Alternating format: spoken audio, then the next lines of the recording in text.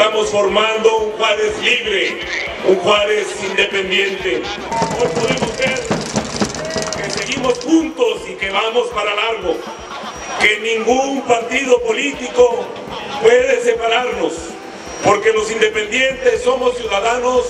como tú, como yo, como cualquier otro, porque estoy seguro que este domingo me harán presidente nuevamente, porque nos darán